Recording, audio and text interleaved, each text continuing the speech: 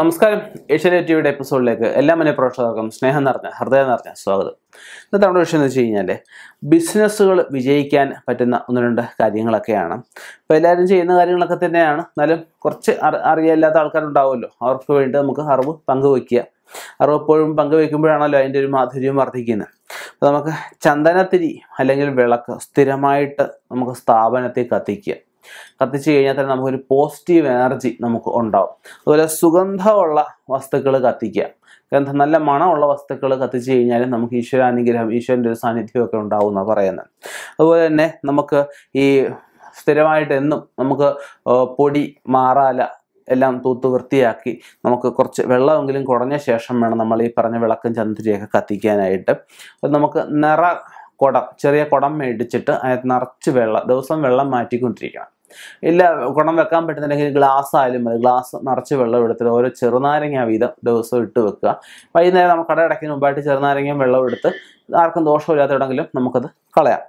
പിന്നീട് നമുക്ക് ഈ ചെറിയ പൂജാപാത്രമുണ്ട് പൊടിവിളക്ക് മണി അങ്ങനെയുള്ള ചെറിയ സാധനങ്ങളൊക്കെ നമുക്ക് ഈ വിളക്ക് കത്തിക്കുന്നിടത്ത് വെക്കുന്നത് ഏറ്റവും ഐശ്വര്യകരമായിട്ടാണ് പറയാൻ പറ്റുന്നത്. ഇപ്പോൾ എല്ലാ പൂജാപാത്രവും നമുക്ക് വെക്കാൻ പറ്റിക്കണമെന്നില്ല ഒന്നുമില്ല ഒരു ശംഖ് വെക്കുക. അല്ലെങ്കിൽ ഒരു മണി.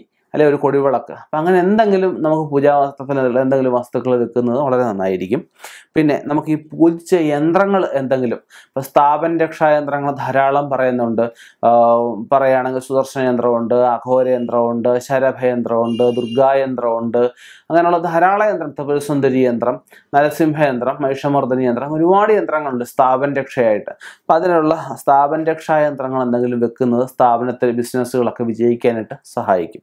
ഈ ഒരു പരിധി വരെയുള്ള ദൃഷ്ടിദോഷങ്ങൾ ശത്രുദോഷങ്ങൾ നാവിൻ ദോഷങ്ങൾ കണ്ണിൻ ദോഷങ്ങളൊക്കെ നമുക്ക് ഈ യന്ത്ര വെക്കുന്നതിലൂടെ നമുക്കത് മാറിക്കിട്ടുന്നതായിരിക്കും.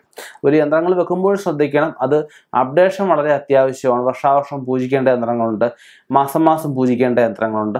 അത് മേടിക്കുമ്പോൾ ആരിൽ നിന്നാണോ വാങ്ങിക്കുന്നത്? അവരിൽ നിന്ന് ചോദിച്ച് മനസ്സിലാക്കിയ ശേഷം നമ്മളത് പൂജിക്കാനായിട്ട് രാവിലെ വന്ന് ഈ പറഞ്ഞ വിളക്ക് കത്തിച്ചിട്ട് നമ്മൾ യന്ത്രത്തെ തൊട്ടിട്ട് ആ യന്ത്രത്തിന്റെ ഒരു ഗായ യന്ത്രഗായത്രി ഉണ്ടാവും. ആ യന്ത്രഗായത്രി പതിനൊന്ന് പ്രാവശ്യം ജപിക്കുന്നതും ആ ബിസിനസ്സിൽ അന്നത്തെ ദിവസം നമുക്കൊരു പുരോഗതി ഉണ്ടാവാൻ സഹായിക്കുന്നതായിരിക്കും.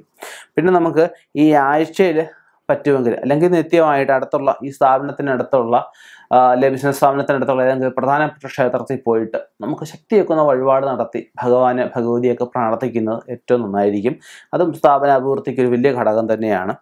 പിന്നെ നമുക്ക് ഇഷ്ടക്ഷേത്രത്തിലേക്ക് നമുക്ക് ഇഷ്ടപ്പെട്ട കുടുംബക്ഷേത്രമോ നമ്മുടെ ദേശത്തെ പ്രധാനപ്പെട്ട ക്ഷേത്രങ്ങൾ ഏതെങ്കിലും ആവാം അല്ലെങ്കിൽ ഗുരുവായൂർ അല്ലെങ്കിൽ അങ്ങനെയുള്ള ദൂരെയുള്ള ഏതെങ്കിലും ക്ഷേത്രം ആയിക്കോട്ടെ അവിടത്തേക്ക് ഒരു വഞ്ചി വാങ്ങിച്ചു വെച്ച് നിത്യം നമുക്ക് കിട്ടുന്ന വരുമാനത്തിൽ ഒരു ശതമാനമെങ്കിലും നമ്മുടെ മനസ്സ് പോലെ എന്തെങ്കിലും തുക വഞ്ചിയിൽ ഇട്ട് വെക്കുന്നത് അത് നിറയുമ്പോൾ നമുക്ക് ആ ക്ഷേത്രത്തെ കൊണ്ട് കൊടുക്കുന്നത് നമുക്ക് വരുമാന വർധനവിന് സഹായിക്കുന്ന ഒരു അവസ്ഥയാണ് അതുപോലെ തന്നെ നമുക്ക് ഈ സാധുക്കൾക്ക് ആർക്കെങ്കിലും ഒരു ദിവസം ആർക്കെങ്കിലും നമുക്ക് കിട്ടുന്ന വരുമാനത്തിൽ നിന്ന് ഒരു ശതമാനം നീക്കി വെക്കുന്നത് അതുപോലെ നിർധനരായിട്ടുള്ളവർക്ക് നമുക്കൊരു ശതമാനം കൊടുക്കുന്നത് നമുക്ക് ഈ ബിസിനസ്സുകൾ വിജയിക്കാനായിട്ട് ഏറ്റവും മുഖ്യ ഘടകമാണ്. അതുപോലെ തന്നെ ആഴ്ച ഒരു ദിവസമെങ്കിലും എല്ലായിടത്തും തുളസി വെള്ളം കുടയുന്നത്. ഒരു പാത്രത്തിൽ ഒരു തുളസി ഇല ഇട്ടിട്ട് എല്ലായിടത്തും കുടയുന്നത്. പനിനീര് കുടയുന്നത്. ഉപ്പുവെള്ളം കുടയുന്നത്. ഇത് മൂന്നും നമുക്ക് നല്ല രീതിയിലുള്ള ദൃഷ്ടിദോഷങ്ങൾ എന്തെങ്കിലുമൊക്കെ മനസ്താപങ്ങൾ മനംപരാക്ക് അങ്ങനെയൊക്കെയുള്ളത് മാറിപ്പോവാനും സഹായിക്കും. അപ്പം ഇങ്ങനെയൊക്കെയുള്ള കാര്യങ്ങൾ നമ്മൾ ശ്രദ്ധിച്ചു കഴിഞ്ഞാൽ തീർച്ചയായിട്ടും ബിസിനസ്സുകൾ വിജയിച്ച് മുന്നോട്ട് പോകാൻ പറ്റും. അതുപോലെ തന്നെ ബിസിനസ്സുകാർ ശ്രദ്ധിക്കേണ്ട ഒരു കാര്യമുണ്ട്.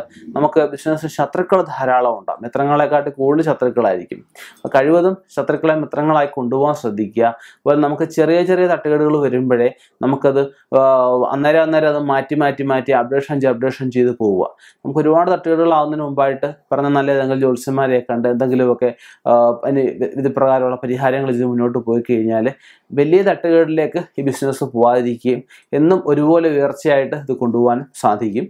ഇനിയും ഇതുപോലെയുള്ള വ്യത്യസ്തമായ വിഷയങ്ങളുമായിട്ട് കണ്ടുമുട്ടാം. നിർത്തുന്നു. നന്ദി. നമസ്കാരം.